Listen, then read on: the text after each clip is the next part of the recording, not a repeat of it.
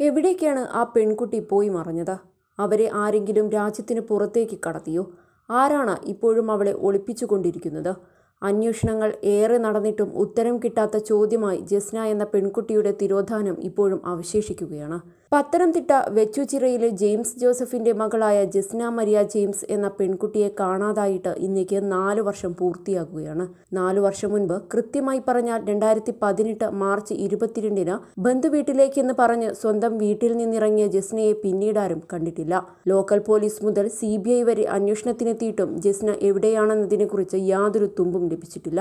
അന്വേഷണ ഏജൻസികളുടെ വിശ്വാസ്യതയെ പോലും ചോദ്യം ചെയ്യപ്പെടുന്ന കേസായി ജസ്നയുടെ തിരോധാനം മാറി. ലോക്കൽ പോലീസിൽ നിന്നും ക്രൈംബ്രാഞ്ച് ഏറ്റെടുത്ത കേസ് ഒടുവിൽ സി ബി ഐയിൽ എത്തി നിൽക്കുകയാണ്. ഇത്രയും ദുരൂഹതയും വെല്ലുവിളിയും നിറഞ്ഞ ഒരു കേസ് അന്വേഷണ ഏജൻസികൾക്ക് മുൻപിൽ അടുത്ത കാലത്തെങ്ങും എത്തിയിട്ടില്ല.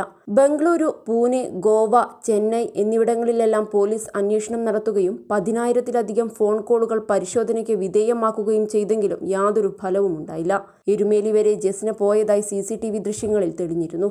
അതിനുശേഷം ജസ്ന എവിടെ പോയി എന്നത് ഉത്തരം കിട്ടാത്ത ചോദ്യമായി തുടരുകയാണ്.